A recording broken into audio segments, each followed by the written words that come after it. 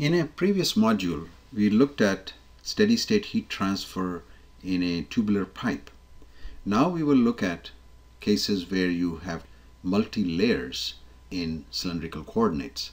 Again, a common example is pipes that are conveying either uh, heated or cooled liquids are often insulated.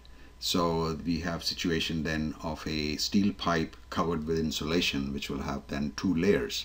So we will first recall that for a single layer pipe, the rate of heat transfer QR was equal to 2 pi Lk Ti minus To divided by natural log of Ro over Ri. This is what we obtained in the previous module. And by using the um, thermal resistance concept, the resistance due to conduction in a single layer pipe was Rc for thermal conduction uh, resistance. Uh, in the numerator we have natural log of Ro or Ri divided by 2 pi Lk. So now let's go ahead and draw a cross section of a pipe uh, which has got two layers. So we have uh, this inside of the pipe and the thickness of the pipe and then some other layer which could be for example insulation. We have the inside temperature is T1, the outside temperature is T3. These are surface temperatures. So the outside surface temperature T3, inside surface temperature T1. And we will also show the radius. So for the inside radius for the inner pipe is R1 and for the outside radius of the inner pipe is R2 and with the outside layer we have the outside radius as R3. So note again that the temperature limits are temperature T1 to T3. We have, let's say, material A, which is the inside, which could be, for example, a steel pipe, and material B is on the outside.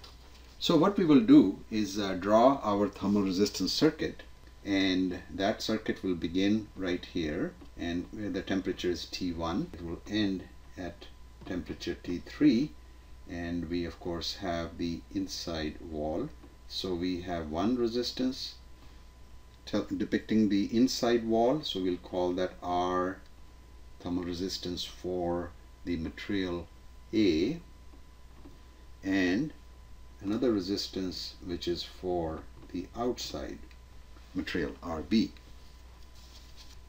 So now we can go ahead and write down the individual resistance terms. So RA will be equal to natural log of R2 divided by R1. Note that uh, it's for material A and for material A the outside radius is R2, inside radius is R1. In the denominator we will have 2 pi Lk and K will be for the inside material which will be Ka.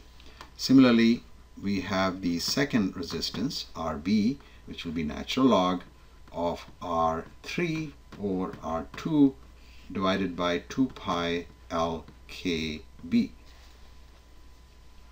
And with those two resistance terms, uh, note that they need to be added uh, because the heat transfer is from this inside surface to the outside surface.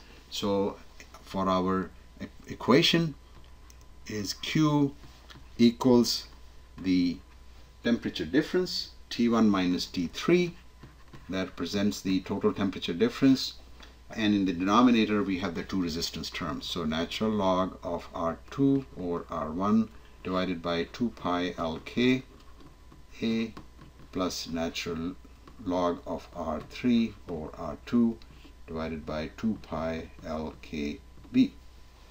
So this is our expression, final expression, that gives us the rate of heat transfer in radial direction when the inside surface temperature is T1 and pipe has got a layer, another layer on it and the outside surface temperature is T3 and then the two resistance values are shown in the denominator. This equation can be then solved to determine the rate of heat transfer uh, under steady state conditions.